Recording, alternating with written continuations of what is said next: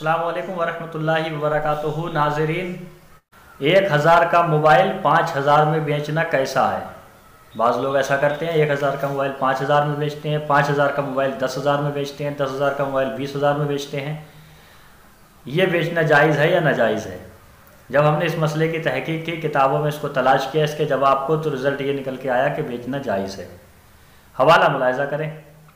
दस रुपये का सामान पचास रुपये में बेचना, बेचा या सौ रुपये का सामान एक हज़ार में बेचा या एक हज़ार का सामान पाँच हज़ार में बेचना जायज़ है, मगर शर्त के साथ कि झूठ ना बोला जाए।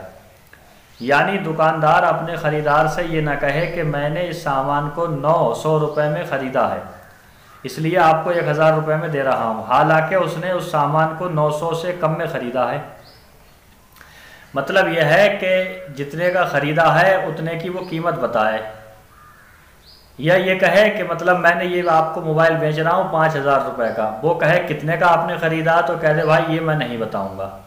एक तो तरीका ये है, दूसरा तरीका ये है कि एक हज़ार का मोबाइल पाँच हज़ार में बेचे, लेकिन वो ये ना बताए कि मेरी ख़रीद कितने की है।